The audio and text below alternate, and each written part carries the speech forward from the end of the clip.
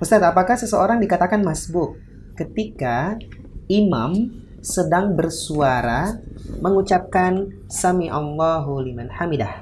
Baru kita juga ruku, Ustadz. Dan ini katanya semoga Ustadz selalu dalam lindungan Allah Subhanahu wa taala. Baik. Barakallahu fiik. Syukran atas pertanyaannya. Bismillah. Eh, ketika orang datang ya makmum ya terlambat dan eh, imam sudah dalam keadaan ruku dalam keadaan ruku kemudian eh, ketika makmum ini mau ruku ya terdengar ucapan ya oleh imam sami Allahu liman hamidah. Yang di mana ya biasanya ketika mengucapkan sami Allahu liman hamidah itu otomatis imam juga ya ya sedang apa eh, sudah pindah posisi dari ruku menuju apa eh, berdiri setelah ruku.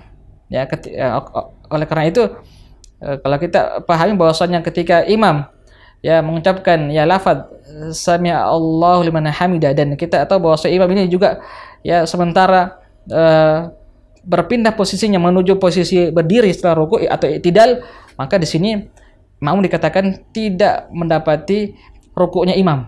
Ya jadi imam tadi atau makmum tadi tidak mendapati rukuknya imam maka ya eh, dia tetap sholat ya diikuti rakaat tersebut tapi rakaat tersebut tidak terhitung bagi makmum artinya dia ya wajib untuk apa eh, menambah satu rakaat ketika imam su- eh, sudah salam nah wallahu taala alam.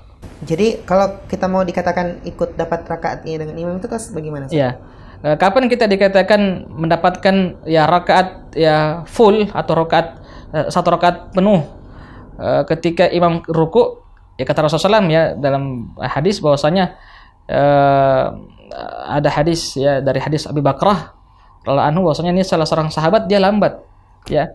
Ketika sholat ya Rasulullah SAW sudah ruku. Sedangkan Abu Bakar ini ya sudah dari kejauhan melihat "Ah, ini jamaah sudah ruku Rasulullah SAW sudah ruku. Jadi beliau ya jangan sampai ya beliau terlambat juga. Beliau ya dari awal ya dari pintu masjid beliau sudah apa? Beliau sudah ruku memang. Eh, beliau beliau ruku ya beliau ruku dari pintu masjid kemudian dan ini beliau lakukan sampai ya menuju eh, barisan sholat ya, jamaah sholat. Ya, dan itu beliau sudah posisi ruku memang. Sehingga setelah sholat Rasulullah SAW ya ketika mengetahui hal tersebut dilakukan oleh Abu, Ba- Abu Bakrah ya beliau menegur ya ya, zadakallahu hirsan wa la ya semoga Allah menambahkan kepadamu semangat tapi jangan ulangi lagi. Ya jangan jangan ulangi lagi perbuatan tersebut. Artinya Rasulullah SAW ya ya eh, tetap kata Rasulullah ya Rasulullah ya, artinya tidak menyuruh dia untuk mengulangi lagi rakaatnya. Artinya di sini kata pertama kita ketika Abu Bakar tersebut ya ruku ya ruku walaupun dia tidak masuk dalam soft tapi dia sudah ruku memang di awal dia dapati rukunya Rasulullah ya Rasulullah pun ya me- membenar artinya beliau eh, apa mengakui atau rukuknya si Abu Bakar ini anhu ya benar. Walaupun caranya ya diperbaiki harusnya rukuknya nanti ketika sudah masuk di soft. Ya jadi rukuknya ketika sudah masuk di soft. Makanya kata Rasulullah tahu "Ja- jangan ulangi lagi. Tapi Rasulullah ya tidak menyuruh dia untuk apa? Tidak menyuruh dia untuk mengulangi rakaatnya karena rakaatnya ya eh, sah.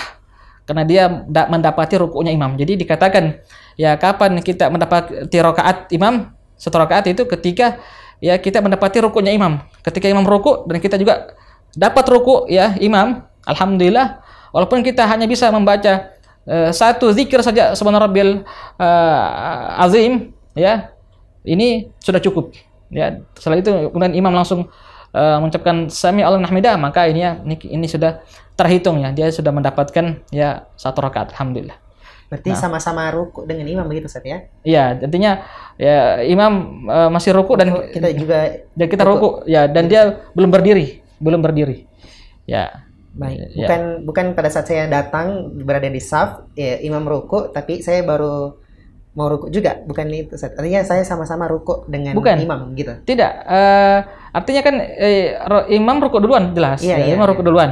Kemudian Saya eh, saya baru ya. datang. Mm-mm. Kemudian ketika saya ruku, imam juga belum berdiri. Ah, maka ini berarti kita Dapat dapati ruku, eh, rakaat itu. Baik. Full. Tapi kalau pas kita mau ruku, ternyata imam sudah mau berdiri, sudah, ya. sudah bahkan sudah pertengahan, maka ini kita tidak terhitung mendapatkan rakaat imam. Ah, Nah,